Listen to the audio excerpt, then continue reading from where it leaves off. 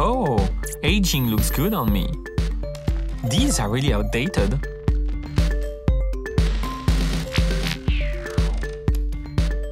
Ah, the democratization of information continues.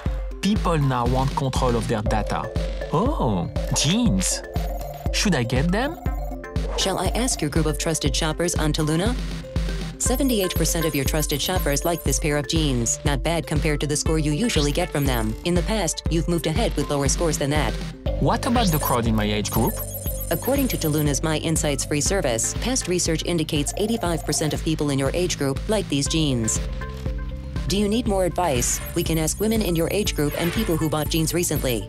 No, this is fine for now. Let's go and try it. Can I help you? I like these jeans.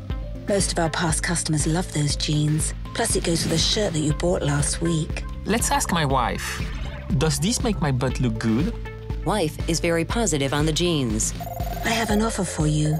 If you share one megabyte of your personal shopping data with us, we'll give you a 20% discount. Sold.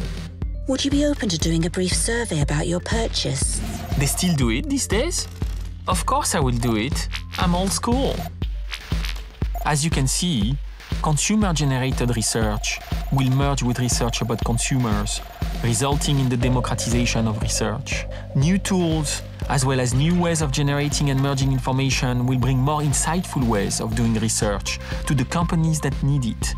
At the same time, research will become more accessible to the everyday person.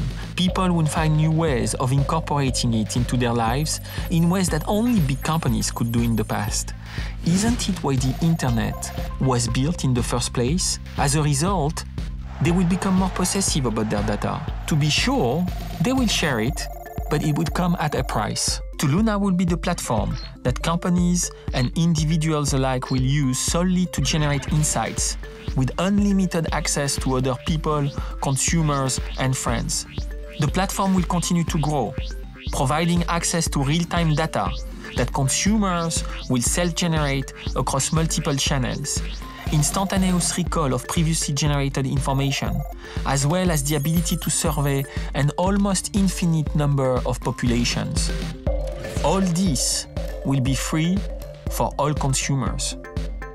In that exciting journey, the driving force that is keeping us awake at night is the democratization of market research, making it a mass market and world domination.